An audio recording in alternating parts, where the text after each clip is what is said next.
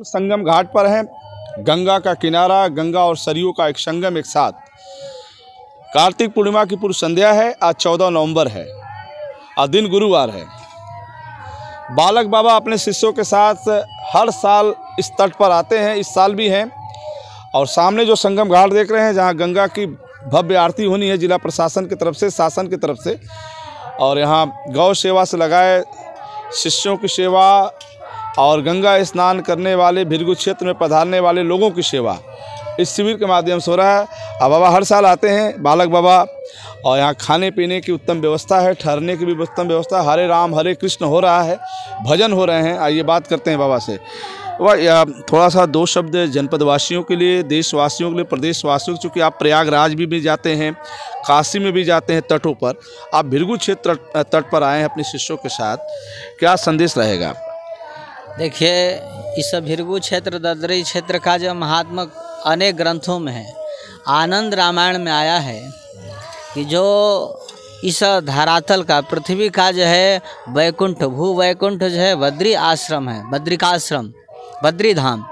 तो वहाँ पर रहने पर, वहाँ पर जब तब पूजा, यम यम करने का जो फल होता है, उससे जव इतना अधिक दरदरी क्षेत्र का है। इसलिए हम लोग भिरगु क्षेत्र, दरदर ऋषि के क्षेत्र में हम लोग आकर के माँ गंगा के तट पर जो है, पाँच चीज़ लेकर के हम लोग चल रहे हैं। गंगा, गौ, गोविंद का कीर्तन भजन, गुरुजनों का सानिध्य, गायत्री और गीता पाठ। ये पाँच चीज़ यहाँ पर आसानी से उपलब्ध है, हम लोग कर रहे हैं। और यहाँ पर भक्तों का जो सेवा हो रहा है। और हम चाहते हैं माँ गंगा से, गोविंद से यही प्रार्थना करते हैं। भृगु क्षेत्र, बलिया क्षेत्र, और जब पूरा उत्तर प्रदेश, पूरा भारत है, सब कोई सुखी हो, सब कोई निरोग हो, अपने धर्म, अपने राष्ट्र के प्रति एक भाव हो। जिला प्रशासन और शासन की तरफ़ से क्या संदेश है?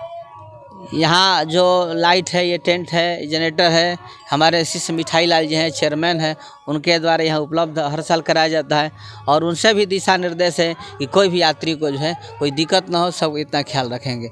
पानी का भी छिड़काव रखेंगे यहाँ क्योंकि पानी की अभी समस्या है धूल गर्दा उड़ रहा है। हम शासन प्रशासन से ही निवेदन करेंगे कि रास्ते पर से जल का छिड़काव हो जाए और यात्रियों को कोई दिक्कत ना हो। जी रास्ता ठीक है? हाँ रास्ता ठीक है रास्ता की साफ़ सफ़ाई है। कोई दिक्कत नहीं लेकिन रास्ते पे धूल करता है। रात को आप घूमेंगे लाइट उट की उत्तम व्यवस्था है? लाइट की उत्तम व्यवस्था है और लाइट अभी लगेगी आज। हाँ आज मार्ग पर जो है बांधा गया है कि यात्रियों को जो है इधर नदी के तट को न जाए गहरे पानी में न जाए उसकी उत्तम व्यवस्था है। जहाँ आरती हो रही वहाँ भी उत्तम व्यवस्था है। और संगम पर अनेकों संत महात्मा है। कल हम लोग यहाँ भी जो है भंडारा था अनेकों संत महात्मा आए थे। नगर विधायक परिवहन मंत्री के लिए कुछ संदेश है? और मंत्री जी भी आए थे।